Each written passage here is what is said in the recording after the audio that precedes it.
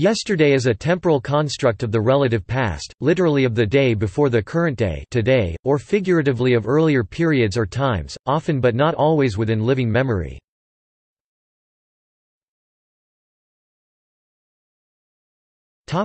Philosophy Philosophers have treated yesterday in various ways including as a relative but distinct concept of time. For example, John Locke in an essay concerning human understanding 1760 treated the concept of yesterday as follows I suppose, nobody thinks it conceivable that anything does, or has existed in that future duration.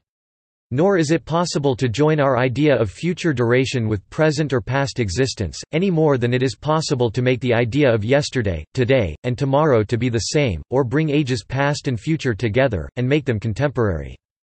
In Chinese philosophy also the meaning of today and yesterday is relative to contexts. In the rhetoric of history, yesterday can refer to the life framework of a past era, such as the example in literature of memory recalled from a previous, but now lost, lifestyle or society, such as recent colonial life.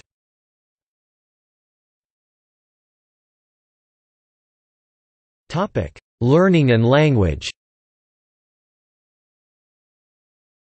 The concepts of yesterday, today, and tomorrow are among the first relative time concepts acquired by infants.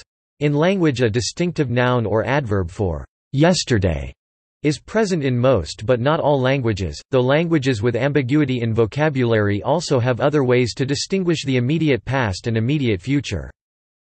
Yesterday is also a relative term and concept in grammar and syntax.